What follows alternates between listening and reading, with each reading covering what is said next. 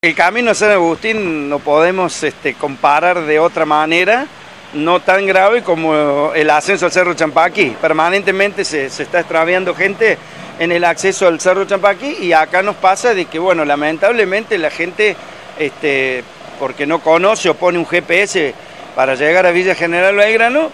entre lo que es la autopista Córdoba-Rosario, a la altura de Río Segundo, el GPS los manda a Villa General Belgrano, pero hay un lugar donde a ellos los manda o por un camino de tierra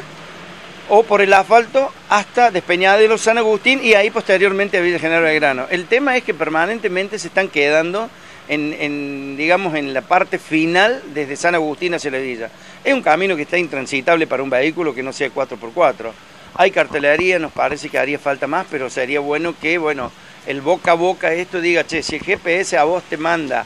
a Villa General Belgrano por un camino de tierra, no lo tomes, porque en realidad Villa General Belgrano todos los accesos son, en este momento, por este, asfalto, que son caminos que están en buenas condiciones, mucho más rápido y por supuesto mucho más seguro. Es permanente, lamentablemente la una y media, las dos de la mañana, las 10 de la noche, el que ingresó, bueno,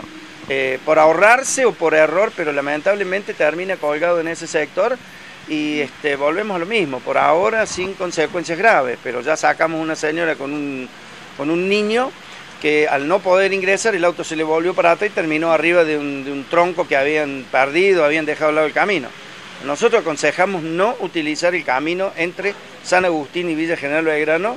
ni desde San Agustín a Villa General Belgrano, ni de Villa General Belgrano a San Agustín porque lamentablemente hay un sector que es totalmente intransitable. Utilizarlo hasta que no sea reparado como corresponde. Exactamente, sí, porque no está preparado ahora para vehículos bajos, o sea, nada más con 4x4. A nosotros